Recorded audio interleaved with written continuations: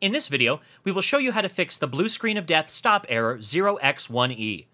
The error 0x1e occurs when your device driver isn't installed properly. It can either be conflicting with another device driver, or there might be a compatibility issue with the hardware.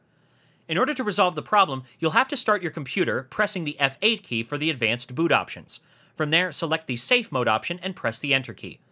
After Windows boots up in Safe Mode, open the Start menu and right-click on Computer.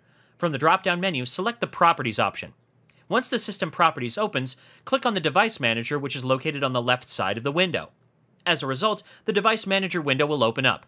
Over here, expand Network Adapters.